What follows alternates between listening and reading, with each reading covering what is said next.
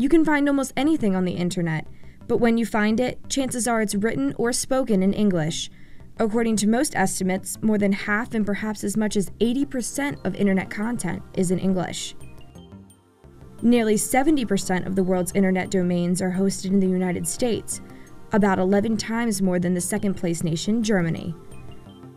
Since only about a third of the world's 1.1 billion internet users speak English as their first language, two thirds of the people using the internet have to have some understanding of a non native language if they want to read the rich content available online. Many see this relative monoculture of the internet as a tremendous advantage. For example, people from all over the world can take free online courses at MIT. With English serving as a sort of default cyber language, we can avoid the complexities and inefficiencies that have prevailed in pre internet communications. We don't want to uh, introduce diversity and in a way that destroys the interoperability of the internet. The, the uniformity of, of um, its behavior is important. But others say it is time for the internet to become more diverse, and things are starting to change as the internet expands beyond its Western origins to reach people across the world. And that is why the issue of internet diversity is high on the agenda at the second annual Internet Governance Forum here in Rio de Janeiro, Brazil.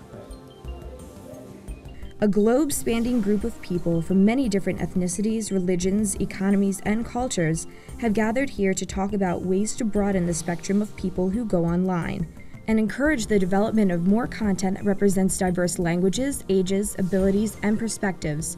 In short, they want the internet to look more like the world. Today, internet engineers are adapting the internet's main traffic directories that keep track of the computer host names used in web and email addresses. Up to now, these addresses have only been able to use the 26 letters of the Roman alphabet used in English. But the Internet Corporation for Assigned Names and Numbers, known as ICANN, is now testing internationalized domain names that allow Internet users to make subpages of the net in their own languages. The test includes Arabic, Chinese, Greek, Hindi, Japanese, Korean, Persian, Russian, Tamil, and Yiddish. These are important steps towards building a truly multilingual internet. It's their own languages. Nobody can get his language and put it right away. It's my identity, my nationality. I have to speak my, my own language. So I have to, um, not all people in the Arab world can speak English. So uh, does this mean that they will not use the internet? We have to focus on all the all people, all kind of people. As more non-English speaking people begin to use the internet, these efforts are gaining momentum especially because of the necessity for governments, companies, and organizations to reach out to people in their native languages. The numbers tell the story of a rapid change in the languages of the digital revolution. While the number of English speaking users on the internet increased about 150% since 2000, the number of Arabic speaking users increased nearly tenfold. Portuguese speakers increased more than 500%, and Chinese, French, and Spanish speaking users weren't far behind. And of course, China's more than 1.3 billion people are in the early adoption phase of the internet revolution. Fewer than 14% of the Chinese are online. And as more of them get connected to the internet, they'll be looking for sites in their native language. So, where is all this push toward a multilingual internet taking us? If I can't understand your website and you can't understand mine, then what have we accomplished? Developers are trying to design more sophisticated translation software. An approach called statistical machine translation is being used to develop a 20 billion word world translation base. In the meantime, Babelfish, Google Translate, and other rough translation systems are in use. And more websites are being developed to provide content in multiple languages.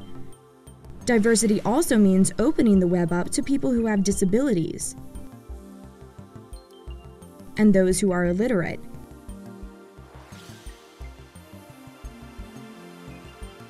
The DAISY Consortium expands usability by creating digital talking books.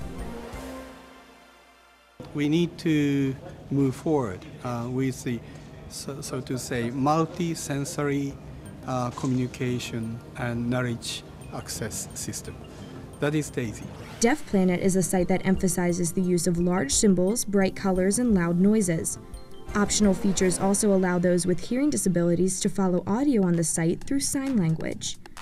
Work continues to fully include the disabled and illiterate online. For instance, the Internet Society and other organizations support a global standard of usability known as Universal Design. Providing content that is useful to people of all abilities presents significant technical and economic challenges, but the prospect of bringing a more diverse mix of users to the Internet offers rich benefits. Not only does it uh, accessible design enable uh, lower the cost of access to content, which affects everybody, whether you have a disability or not. Uh, the accessible design also enables people who are illiterate or cannot uh, read to hear what's being said. And uh, so English as second language or whatever the language is uh, will be more accessible. There, and there are many other uh, examples. People who are, uh, who are aging, older adults, benefit from the functionality that's there. And I talk a lot about that. The promise of diverse users contributing more diverse content can bring forward the wisdom of Indigenous people, the magic of ideas that are a bit or even a lot out of the mainstream, the vision of an isolated but talented thinker or artist, the cross pollination of concepts that can advance humanities in ways we may not now imagine. Instead of hierarchy, instead of privilege, it's going to be skills and competence and bottom up and grassroots and leveling the hierarchy, which is to me what the excitement of the internet has always been. When people at the Internet Governance Forum discuss diversity, they are also discussing the need for open software and Internet architecture standards that everyone can use, bringing the Internet to other underserved groups, including older persons and, in some cultures, women, and public policies that support user generated content online. From the beginning, the concepts of Internet have been built around empowerment, allowing people everywhere in every circumstance the power to make a difference globally. This, then, is the promise of diversity.